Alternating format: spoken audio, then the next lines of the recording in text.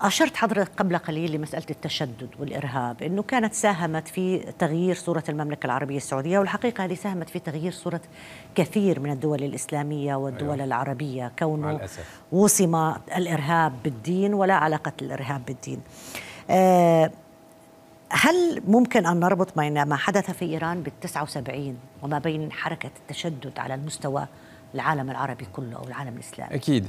المشكلة الأساسية هي تسييس الإسلام.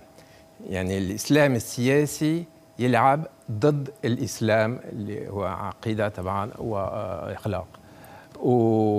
والإسلام السياسي آه، بدي آه، قبل الثورة الإيرانية بكثير مع حركة الإخوان المسلمين هذا معروف.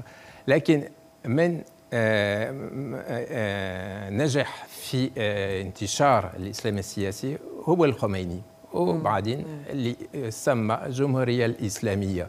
أنا بسميها الجمهورية جمهورية تأسيس الإسلام. في نقطة أنت حرصت عليها أكثر من مرة وهي أنه من بنى السعودية هم السعوديون وليس أي فريق ديني أو فكري أو عقائدي. اشرح لي هاي الفكرة التي وردت في كتبك كثيرا. نحن أه في, في تاريخ السعودية المعاصرة أه عندنا مرحلتين من غاية الأهمية. آه، الملك المؤسس طبعا آه، الملك عبد العزيز أسس الدولة السعودية. وحاليا المرحلة الثانية هي مرحلة آه، إنشاء الأمة السعودية. يعني من الدولة إلى الأمة.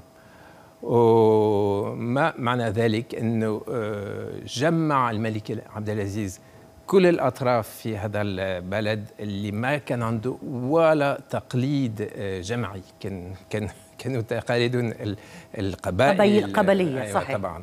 صحيح. و, و أخذ وقت بس آه، يعني مشي آه، مشيت السعودية على النمط اللي عرف اللي لاحظناها اللي شاهدناها والآن أصبح الشعب السعودي مستعد لل الحركة الجماعية لحركة الأمة اللي آه، مش معناته أنه حيتركوا علاقتهم مع الخارج بس هم هم تكون الأمة سمح لتكوين سياسة مستقلة. واللي وصفتي في البداية هي استقلالية القرار السعودي. هذا من غاية الأهمية. وعلى فكرة آه، فرنسا عندنا نفس المبدأ في التحرك الدبلوماسي استقلالية القرار. مش معناته أن نحن في معسكر من معسكر صحيح لا صحيح. آه، ممكن آه، نبني علاقات جيدة حسب مع نتفق أو نختلف أيوة ولكن أيوة. القرار مستقل في نهاية هذا أهم شيء وأنا متأكد أنه استقلالية القرار السعودي يلعب دور فعال طبعا للشعب السعودي في الأول لكن أيضا للعرب كلهم لأن السعودية هي مع الأسف الدولة القوية الوحيدة حاليا على الساحة العربية.